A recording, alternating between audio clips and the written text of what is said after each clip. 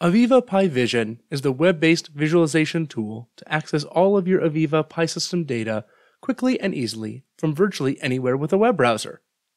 Let's look at the new features introduced with the AVEVA PI Vision 2023 SP1 release. With the previous 2023 Vision release, modern claims based authentication through OpenID Connect was introduced. If you are unfamiliar with this functionality, see the link to the 2023 Modern Authentication video in the description. This modern authentication in the previous release was only available in the main PI Vision site.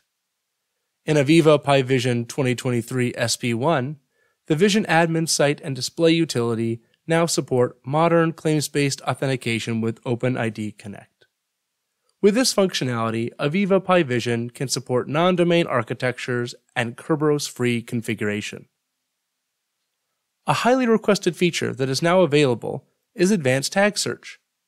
This introduces more filter fields to help you find exactly the tags you're looking for. Now when you start your tag search, a description field is available by default and you can choose additional fields under Advanced Search Criteria. Let's say you're looking for an engine temperature tag on a vehicle. You don't know the name, but you think it should have temp in the description.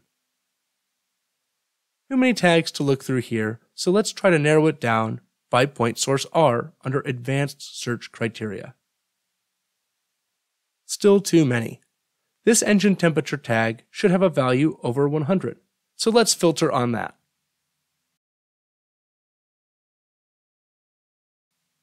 Finally, we have a short list and we can now see the description right away and use a tooltip to investigate each item's data before bringing it onto the display.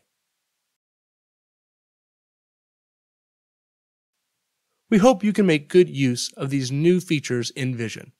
For further information on AVEVA PI Vision 2023 SP1, please refer to the release announcement linked in the description.